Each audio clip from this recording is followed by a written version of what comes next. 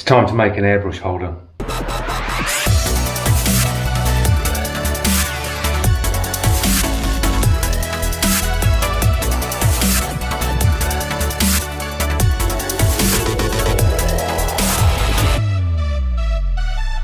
Hi everybody, welcome back to the channel and welcome to a custom build day. I'm going to show you how to do a DIY airbrush holder. This will save you quite a bit of money because some of these ones can be quite expensive, especially when you're starting out and you've just weighed out for an airbrush, a compressor, your paints, an easel, lighting, all the stuff that you need to get started.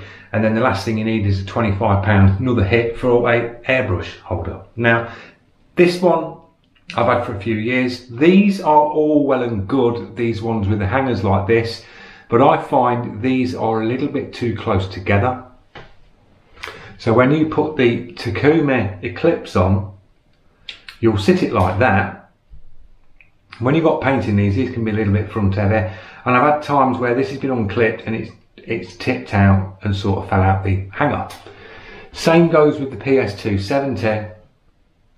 Because you've got the Mac valve, you put it in, yes it will sit like that, but sometimes I always like to have my hangers tilted forward so your paint flow always sits to the front of the brush. I never have it tilted back and sometimes if you don't get it there like that, these will slide forward and tip out. If you go that side, you're too back heavy and it rocks back.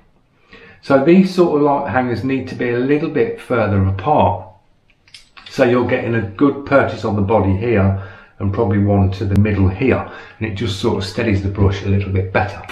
The bonus with these ones, you get the screw attachment so you can slide it on your table, your workstation and clamp it to it. The one we're going to make today is going to be like this, but without the clamp mechanism to the bottom. This one's going to be a freestanding, so you can put it on top of your table. It'll be nice and steady, and your brushes won't fall out. So I'll give you a little pan round show you the bits we're going to use today. We've got some wood glue, a little bit of wood glue. You can use any sort of wood glue. This one's a quick set one which goes off really quick, but you can use your normal wood glues. It'll just mean you have to leave it a day just to go off because some of the other wood glues take a while to go off. So a wood glue, two pieces of heat shrink. Now you can buy this on eBay. A length of this is dirt cheap. You need this to be able to fit around a metal coat hanger because that's what we're using. Just a metal bog standard coat hanger that you can grab out your wardrobe. So a couple of pieces of heat shrink. I've got a 8mm nut and bolt with a couple of washers. So one of them, dead cheap. Pair of pliers that's got a cutting edge on it so you can cut the coat hanger. Screwdriver, Phillips head. Pair of scissors. A wood saw, just a normal wood saw. This is an old beaten up wood saw but it will do the job. And I've got a drill with like an 8mm drill bit on the end. And finally a bit of timber batten. We may need a couple of wood screws probably half inch, inch long. But we'll see that as we go along. Right guys, we're ready to make a start on the first bit that you're going to need to do. Now, coat hanger, normal metal coat hanger. Now we've got to sort of reproduce this. Now these come in two sides. So the first thing you're going to need to do is undo your coat hanger and be really careful with this guys because it can be quite sharp. So you've got your undone coat hanger like that. and we need to cut off this piece. So if you come up about to there, so you've got plenty of room, snip that one off, like that, and then snip the same side. So you're left with that. So you've got the V. Do the same to the other side.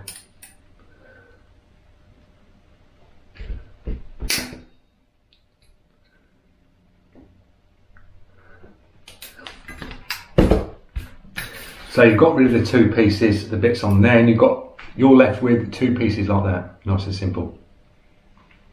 And the beauty of coat hangers is these are near enough identical on the bends at the bottom. And they're the bits we're going to start off with. So we've got to create this. Now, as you can see that, So we need to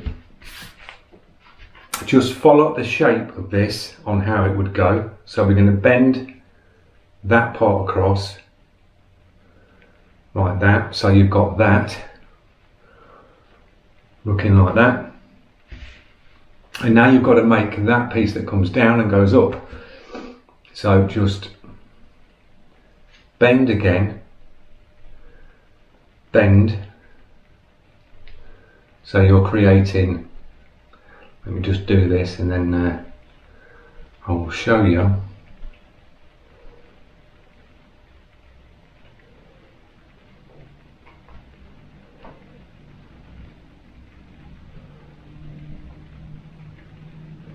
So you're creating that. These are a bit long, but we can chop them down. So your airbrush would sit in here like that. And you can adjust the distance by pinching these together. So that's how the original one sits. It's sort of that sort of thickness, but we're going to come out slightly create that. So you've got to create two of those. So there's the next one. And these will sit back to back like that. We can adjust all the bends in these in a minute, but you're sort of aiming to get that. So now you need to just trim off these two pieces here. Like that. Trim that one. And sort of equal them out.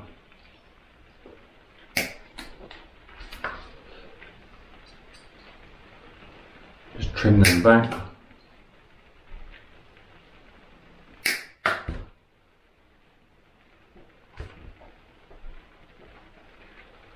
You've not got to get these perfectly identical mirrored, but as long as they're looking like that, we can bend and adjust when we've got this put together. So this is where your airbrushes would sit either side. The next stage to do on this is to drop your heat shrink. So you get your lens, of heat shrink and now all you've got to do is just feed the heat shrink in, just work it round.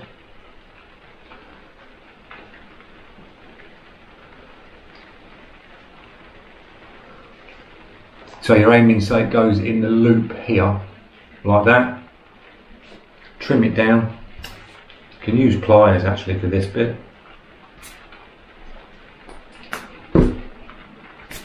Get your next piece round the coat hanger and just sort of level it up so they look sort of nice and even. Trim the top like that. So now you've got that.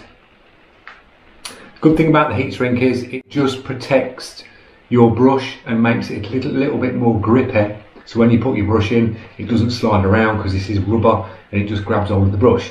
Now, with the heat shrink, you've got to heat this up. You can use a hairdryer. Some people use lighters, so you just basically waft a flame over the heat shrink and this heat shrink shrinks down and will grab hold of the coat hanger. So that's the first one done. So we've got the two hangers made, nice and simple. I'll get these shrunk back in a moment. So that's that bit, nice and quick, done. We'll move on to the next moving on to the next stage now, guys. We've got a piece of timber batten. This is like an inch by inch length of timber batten.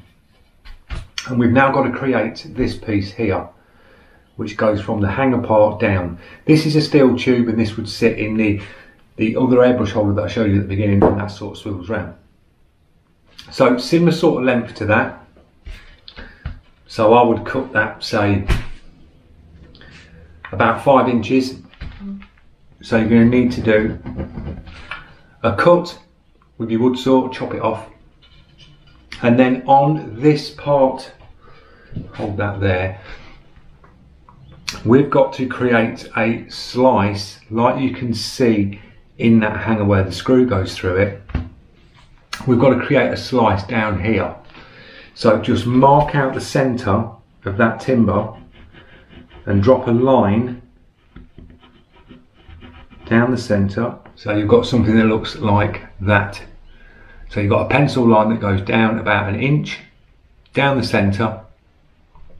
Follow that line across the top of your timber. You're looking at something that looks like that. So you've got that line, that marked line, and you've got to hold your timber. This is the fiddly bit, this is where you've got to be careful. And you've got to drop the wood saw and cut down both sides of that pencil line down into the timber because you're aiming to put your coat hanger wire to sit in that gap down. So I'll get this bit done off camera. So I'm just going to chop there, chop it off there, cut down the centre an inch down so you've got a, a slice in the centre of that timber and I'll see you in a minute. Right guys, we're moving on to the next stage. So hopefully you've got something that looks like that, that's got the sliced out centre. This isn't great, you can see that's like a little bit messy cut and it's not bang on centre, but it will do, this will do for this DIY build. So you're aiming for that.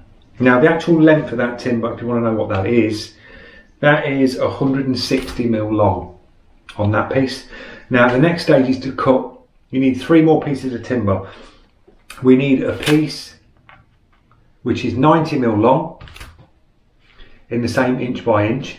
Find the centre of that 90 mil, get a 3 mil drill bit and drill all the way through the centre. So you've got a hole going through the centre of that timber. Then you need to cut two more pieces 120 mil long. So two pieces like that. Same again, find the centre and drill a hole all the way through. So you've got a hole in the timber like that. So you've got three pieces of timber, you should have a piece looking like that, a smaller piece at 90 mil and two 120 long with holes that are drilled in the centres of them and the centre of that. I'll see you in the next step. Right guys, we're moving on to the next step. We've got the pre-drilled holes, hopefully you've got all these little bits cut and pre-drilled. I've decanted a little bit of the wood glue onto here because this glue foams up. If you're using something like normal PVA glue, something like that, it'd be absolutely fine. So get your piece that's got the cut out, little bit of glue on the bottom, get your 90mm centerpiece, centralise that up. This one's going to be a little bit fiddly to do. And you're aiming to screw through your timber. Now when I put the drill bit through this, I held this on top like that, held it and just drilled through and into this one as well. So I just went down and piloted into this one with the 3 mil because the screws that I've got, I didn't want to screw this straight down because it will split the timber open. So I just nip that down. Mine's perfectly not centre, but it doesn't matter. That's absolutely fine. So you're aiming to get that little bit of wood glue on there, you've got a screw in the bottom, so that's going to hold that to there. Now the next stage is to do the same again and mount the legs like that. So you're making the little H frame like that, little bit of glue on them sides, screw through, so same again. So you've got your frame like that, so it sits on the table. Nice and sturdy. You put a little bit of glue on that piece, that piece, and on that piece there three screws and that's held that together. Now the next stage is to get these hangers to sit in here like this. So what we need to do is we've got the 8mm bolt that goes through. Change your drill bit up to the 8mm like so and just put a drill hole. I just mark this up you're aiming to put a drill hole down about, go down about 10 mil 10 to 15 mil down and then drill all the way through. Nice and simple.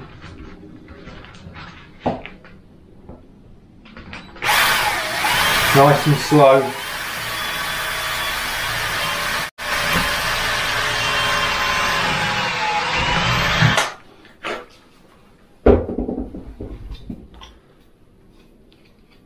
So aiming for a drill hole like that, going all the way through. Move that to one side, get yourself a little bit of masking tape, sellotape, anything that you've got to hand, and we just need to join these two wires together. So they're like that. Just put a loop a bit round the bottom and come halfway up about an inch up the wires and just loop it round. So you're aiming to do that. So you're just basically joining the two together with a little bit of masking. So they sit together like that get your 8 mil bolt washer on the end like that. This should slide through at this. Might just need to work it in. Drop your hanger in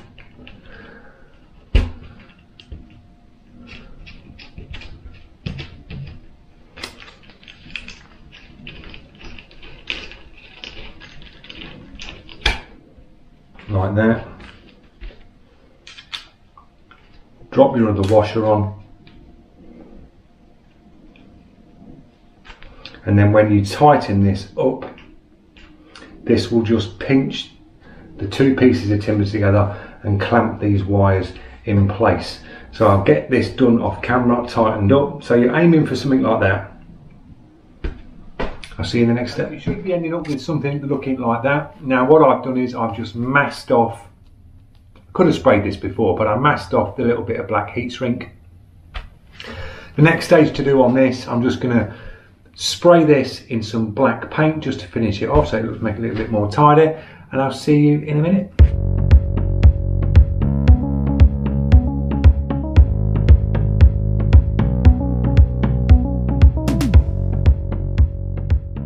So there you go guys, that's nice and simple. You've seen the step by step. Just take your time, especially with your saw in your hand. You don't want to chop your fingers off before you start airbrushing it's nice and easy and it works. It's not broke the bank.